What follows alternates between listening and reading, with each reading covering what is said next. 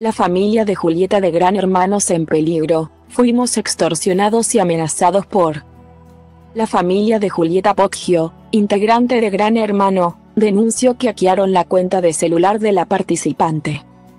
Y que la persona que lo hizo, además, los amenazó y los extorsionó. Me parece que todo tiene un límite. Todo lo que era, lo que venía de esta persona, tenía que ver con el juego, contó la mamá de Disney. Esto es un juego y todos nosotros entendemos que así lo es y que hay límites que no hay que sobrepasar. A Julie le hackearon su cuenta telefónica y su WhatsApp. Y la persona que lo hizo estuvo amedrentándonos. Amenazándonos, extorsionándonos. Y me parece que todo tiene un límite. Todo lo que era. Lo que venía de esta persona, tenía que ver con el juego, contó Patricia, mamá de Julieta, en la gala de eliminación del GH. Y todo eso no tiene nada que ver con el juego. Las personas que están ahí adentro tienen a una familia a amigos y son personas. No son personajes que están jugando a hacer determinado papel. Son personas y todo tiene un límite y se excedió. Que ya está, que entendamos que esto es un juego.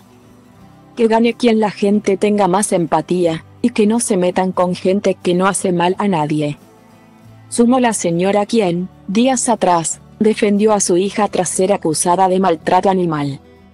Porque, de verdad, nosotros podemos decir nunca le hicimos mal a nadie. Lo digo porque hoy Juli puede irse, era una de las nominadas y si el público votaba en su contra podía llegar a tener que abandonar la casa, pero quedan ocho personas más.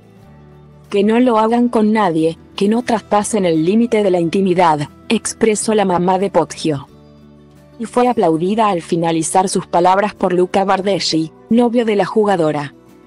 En ese momento, Santiago del Moro, conductor del programa de Telefe, propuso, comillas, el papá o alguna amistad de algún otro participante quiere decir algo.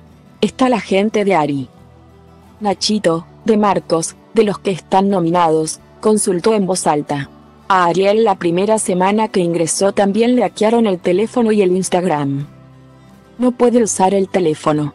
Cuando salga, tiene que rehabilitar la línea, contó una amiga de Ansaldo. Está bueno que estas cosas se digan públicamente. Y que quede en claro que no tienen que ver con la competencia ni con el juego.